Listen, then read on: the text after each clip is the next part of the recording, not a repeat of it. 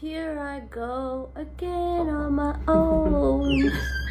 Going down the lonely road only I've known. Happy. Happy. I like it. I love it. I got a I got the seal of approval. Supernatural actress Nicki Aycox is dead at the age of 47. That was her last video alive she posted on her Instagram account. Actress Nicki Aycox, who starred in a TV show called Supernatural, has died at the age of 47. The actress's sister-in-law, uh, Susan Raab, uh, confirmed her passing in a Facebook post on Thursday, saying that my beautiful, smart, fierce, uh, incredibly talented and loving sister-in-law, Nicki Aycox Raab, has passed away yesterday uh, with my brother Matt Raab by her side. Uh, the